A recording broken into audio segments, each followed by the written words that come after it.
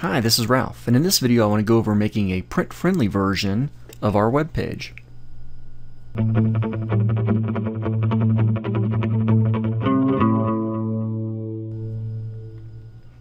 Okay, so we're working on our River Arts Cafe small business website, and we've got everything done for the desktop version, but we also want to have a print-friendly version.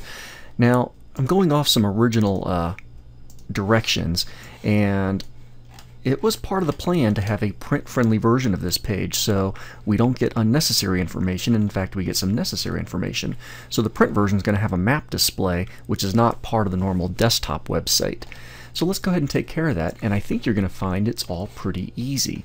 So I'm going to head back over to my editor, and I'm going to jump over to the HTML side of things because I'm going to create another link tag. So I'm going to do a copy and a paste, but this is going to be our small cafe print.css. Now the first CSS is going to be media equals screen, whereas this last one is going to be media equals print the screen version styles and the print version styles. Now there's a couple ways we can work with another style sheet and this is the way we're going to do it. When we do the mobile friendly version you'll see the other way that we can tackle this issue. Okay, now since we're doing two style sheets, this actually kind of makes our makes our work kind of easy. I'm going to go ahead and go to my main styles. This is my screen styles. I'm going to select everything. I'm going to copy everything. Go to a new file, and paste. So I've got a duplicate of my screen version styles. Let me go ahead and save this. I'm saving it into my styles subfolder and this one is called Small Cafe Print. So I'm going to have my print friendly style sheet. Now before I go and do any uh, changes here, let me save that HTML file. I do want you to see kind of how it looks in print before we do anything.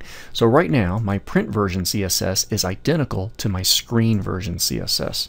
So if I go back to the browser, there we go, and refresh, no change, and let's go to File, Print Preview, we can see that, yeah, it's going to print just like you would expect. And of course, background images don't print. So we've got this big dead space. We've got a navigation menu that's useless. So we've got a pretty um, inefficient web page. So let's go ahead and make some changes to it. I'm going to close that. Head back over to my print-friendly style sheet. And once you've got that print version style sheet, you just go through and you make changes as necessary. So we'll tackle the map image in just a moment, but let's go and handle some of the big stuff. Now for our print, oh, let's make sure I'm on the right style sheet too. So our print version style sheet. Our print version, we don't need a reset rule, so I can get rid of that. Reset rule is for browsers. Now the next thing, things like background colors. I'm not too concerned about background colors, so I'm going to get rid of the background color and I'm going to change the font to a Times New Roman. Now my container, I don't need to be so specific with this, okay? So I can take out this entire rule. Now the header, um, in theory I could delete this out. The background color is not going to be a factor, but um, I'll go ahead and leave it in for now just so you can see we don't have to delete everything. Now for my navigation, for the most part, I'm going to get rid of all of this. But what I want to do with navigation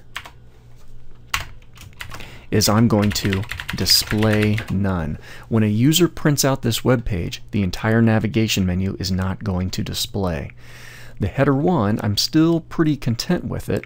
However, I don't want um, no need for a text shadow, no need for it to clear right since the thing that it was clearing is gone. The margins aren't too critical now. I'll just do maybe 50 pixels on all sides. That's pretty extreme. Maybe 20 pixels on all sides. So we'll take care of a little bit of that. The main content. So the main content doesn't need any of this information we could actually delete this whole rule. There's no need for background information, no need for minimum height. Ah, here we go. So we have the, the image in the main paragraph. Now, if you recall back in our HTML, the image in our main paragraph is actually this food image. So I wasn't specific enough because now I want to add a, um, a map image. And actually I can still do that. I can put my map image right down here. So, in fact, I'll just go ahead and copy that image tag real quick. Let's try this. Map1.png. map. I'll call it map image. I'm going to go ahead and save that. Now it's going to look kind of weird because I'm going to have to go back to my other CSS file and correct something. Let me save this for a moment just so you can see what's going to happen. I'm going to head back over to my browser and refresh. You're going to notice that map image pop up. And there it is. Well, we do not want the map image to show up on the desktop version. So I'm going to go ahead and remedy that by going back to my code back to my screen CSS. This is my screen version CSS, and I'll take care of this somewhere up here.